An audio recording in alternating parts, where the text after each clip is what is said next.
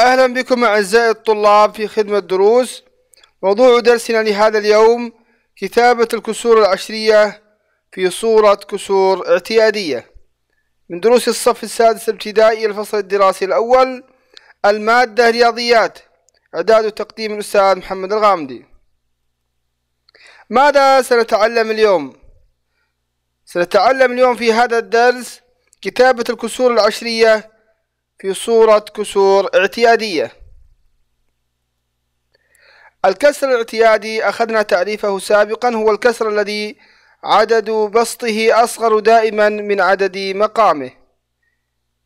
هنا ثلاثة على أربعة.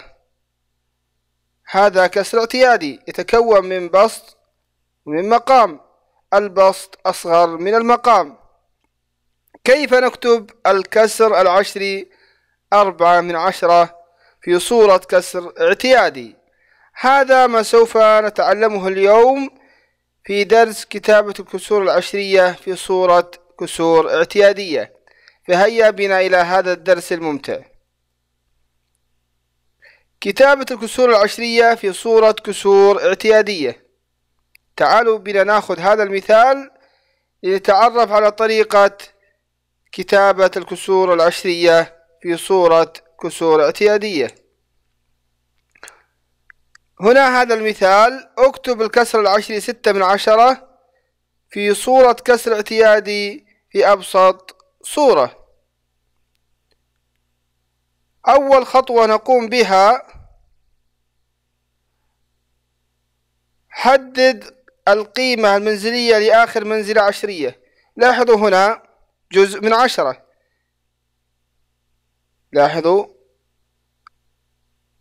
العدد ستة هنا في الأعشار. بالتالي يكون المقام هنا عشرة. إذا كتبنا الكسر العشري هنا في صورة كسر اعتيادي. مقامه المنز... آخر منزلة للكسر العشري ستة من عشرة وتقرأ ستة أعشار. الآن الخطوة التالية نقوم بتبسيط هذا الكسر. إذا بسط الكسر بقسمة كل من البسط والمقام على القاسم المشترك الأكبر لهما وهو العدد اثنان. إذا نقسم البسط والمقام على اثنان. ستة قسمة اثنان فيها الثلاثة وعشرة قسمة اثنان فيها الخمسة. بالتالي حصلنا على الكسر الاعتيادي ثلاثة على خمسة. إذا استطعنا أن نكتب الكسر العشري ستة من عشرة. في صورة كسر اعتيادي يعطيني ثلاثة على خمسة. تعالوا بنا ناخذ هذا التدريب. ونفكر في الحل معا. اكتب الكسر العشري خمسة وأربعون من مئة في صورة كسر اعتيادي في أبسط صورة.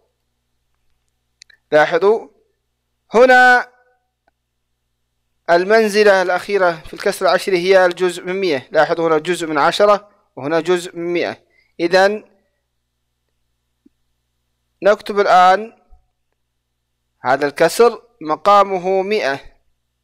لأن آخر منزلة هنا في الكسر العشري هي الجزء من مئة. جزء من عشرة جزء من مئة. بالتالي يكون مقامه مئة هنا. ثم نكتب خمسة وأربعون في البسط. إذا خمسة وأربعون من مئة. الآن نريد أن نبسط هذا الكسر. نقوم بالقسمة على القاسم المشترك الأكبر للعددين خمسة وأربعون ومئة وهو العدد خمسة. إذا هيا بنا نقسم البسط والمقام على القاسم المشترك الأكبر الخمسة. خمسة وأربعون قسمة خمسة ومئة هنا في المقام قسمة خمسة. إذا خمسة وأربعون قسمة خمسة فيها التسعة ومئة قسمة خمسة فيها العشرون. إذا حصلنا على الكسر الاعتيادي تسعة على عشرون. إذا أحسنتم أعزائي الطلاب استطعتم أن تحولون الكسر العشري خمسة وأربعون من مئة إلى كسر اعتيادي تسعة على عشرون. أحسنتم. كتابة الكسور العشرية في صورة أعداد كسرية. تعالوا بنا ناخذ هذا المثال. اكتب الكسر العشري أربعة وعشرون وخمسة وستون من مئة في صورة كسر اعتيادي في أبسط صورة. نلاحظ هنا أربعة وعشرون وخمسة وستون من مئة.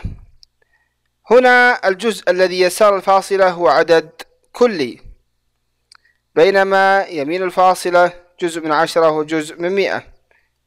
لاحظوا كتبنا العدد. الكلي هنا. ثم كتبنا في المقام مئة لأن آخر منزلة هنا في الجزء العشري. جزء من عشرة وجزء من مئة هنا. وكتبنا في البسط خمسة وستون. إذا خمسة وستون من مئة. حصلنا الآن على عدد كسري. يتكون من عدد كلي ومن جزء كسري هنا. الآن نقوم بتبسيط الجزء الكسري هنا. خمسة وستون على مئة. نقوم بتبسيطها الآن وذلك بقسمتها على العدد خمسة وهو القاسم المشترك الأكبر. إذا خمسة وستون قسمة خمسة فيها ثلاثة عشر ومئة قسمة خمسة فيها العشرون. بالتالي حصلنا على العدد الكسي أربعة وعشرون وتسعة من عشرون. لاحظوا هنا العدد الكلي لم يتغير. تعالوا بنا نحل هذا التدريب ونفكر في الحل معا. نحتاج إلى تسعة وخمسة وثمانون مئة لترات من الحليب تقريبا لإنتاج كيلو جرام واحد من الجبن. اكتب كمية الحليب في صورة عدد كسري في أبسط صورة. إذا سنكتب هذا الكسر في أبسط صورة. لاحظوا هنا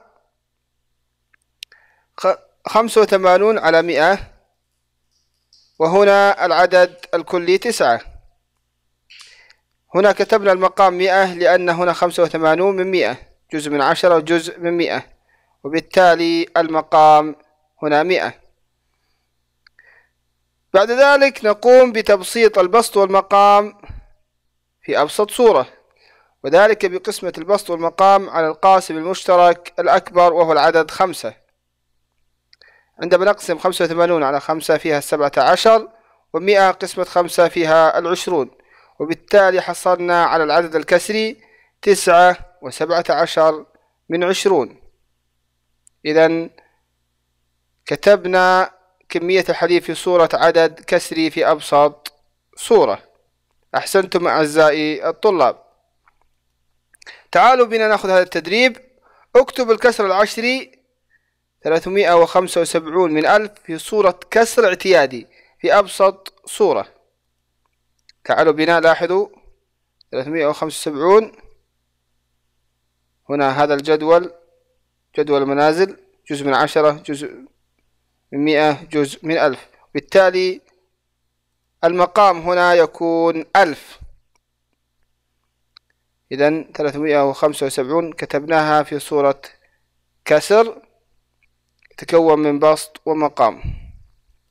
الخطوة التالية نقوم بالقسمة على القاسم المشترك الأكبر لتبسيط هذا الكسر. إذا القاسم المشترك الأكبر هنا هو المئة وخمسة وعشرون. ثلاثمائة وخمسة وسبعون قسمة مئة وخمسة وعشرون فيها الثلاثة وألف قسمة مئة وخمسة وعشرون فيها الثمانية. وبالتالي حصلنا على الكسر الاعتيادي ثلاثة على ثمانية. أحسنتم أعزائي الطلاب. تعالوا بنا نأخذ هذا التقويم. اكتب الكسور العشرية الآتية في صورة كسور اعتيادية في أبسط صورة. الخطوة الأولى لاحظوا هنا نقرأ ثمانية من عشرة. الآن حددنا القيمة المنزلية لآخر منزلة عشرية. إذا هنا جزء من عشرة. بالتالي المقام يكون عشرة. إذا ثمانية من عشرة. بعد ذلك نبسط البسط والمقام على القاسم المشترك الأكبر. هنا قسمنا على الاثنان في البسط والمقام. ثمانية قسمة اثنان فيها الأربعة وعشرة قسمة اثنان فيها الخمسة. إذا حصلنا على الكسر الاعتيادي أربعة على خمسة في أبسط صورة. نأخذ أيضا مثال ثمانية وعشرون من مئة. القيمة المنزلية هي الجزء من مئة. إذا نكتب في المقام هنا مئة. ثمانية وعشرون على مئة. الآن نبسط البسط والمقام حتى نستطيع أن نكتب هذا الكسر العشري في صورة كسر اعتيادي. إذا سوف نقسم الآن على القاسم المشترك الأكبر وهو العدد أربعة. لاحظوا ثمانية وعشرون قسمة أربعة فيها السبعة. مئة تقسيم أربعة فيها الخمسة وعشرون. إذا ثمانية وعشرون من مئة كتبناها في صورة كسر اعتيادي أعطاني سبعة من خمسة وعشرون أو سبعة على خمسة وعشرون. الآن نأخذ هذا الكسر العشري مئة وخمسة وعشرون من ألف ونكتبه في صورة كسر اعتيادي. أولا ننظر إلى المنزلة العشرية جزء من عشرة جزء من مئة جزء من ألف. إذا الجزء من ألف وبالتالي نكتب مئة وخمسة وعشرون على ألف في صورة كسر اعتيادي. الآن نبسط هذا الكسر وذلك بقسمة البسط والمقام على العدد خمسة وعشرون وهو القاسم المشترك الأكبر للعددين. قسمنا مئة وخمسة وعشرون على خمسة وعشرون فيها الخمسة وألف مقسوما على خمسة وعشرون يعطيني أربعون هنا إذا خمسة على أربعون. أيضا نريد أن نبسط خمسة على العدد أربعون. سنقسم البسط والمقام على الخمسة. بالتالي خمسة قسمة خمسة فيها الواحد وأربعون مقسومة على خمسة يعطيني الثمانية. وبالتالي حصلنا على الكسر الاعتيادي في أبسط صورة واحد على ثمانية. إذا الكسر العشري مئة أو خمسة وعشرون من ألف.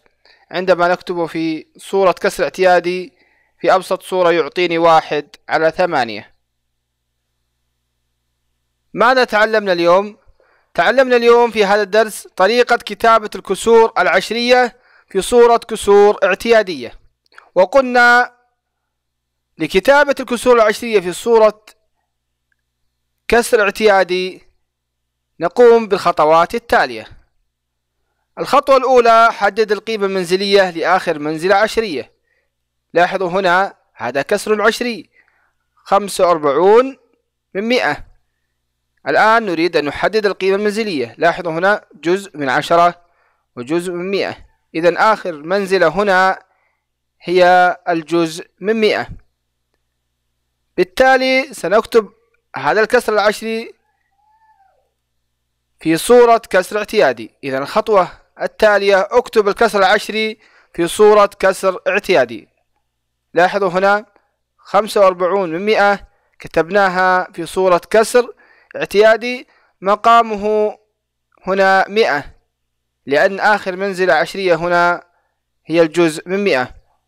وكتبنا في البسط خمسة وأربعون. الآن ننظر إلى هذا الكسر. هل هو في أبسط صورة؟ إذا الكسر الاعتيادي هنا ليس في أبسط صورة. ماذا نحتاج؟ نحتاج إلى الخطوة الثالثة.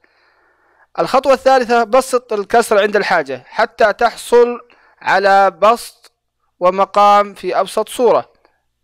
لاحظوا هنا خمسة وأربعون على مئة نبسطها وذلك بالقسمة على القاسم المشترك الأكبر وهو الخمسة. إذا بسطنا هذا الكسر بقسمة البسط والمقام على القاسم المشترك الأكبر وهو الخمسة. تعالوا بنا. خمسة وأربعون قسمة خمسة يعطيني تسعة في البسط. المقام مئة مقسوما على العدد خمسة يعطيني هنا عشرون. إذا حصلنا على الكسر تسعة على عشرون وهو في أبسط صورة. إذا قمنا بكتابة الكسر العشري خمسة وأربعون من مئة في صورة كسر اعتيادي وهو تسعة على عشرون. لا ننسى الخطوات ونتذكرها جيدا. حدد القيمة المنزلية اكتب الكسر العشري في صورة كسر اعتيادي. ثم بسط الكسر عند الحاجة. شكرا لكم أعزائي الطلاب. ونلتقي في درس قادم.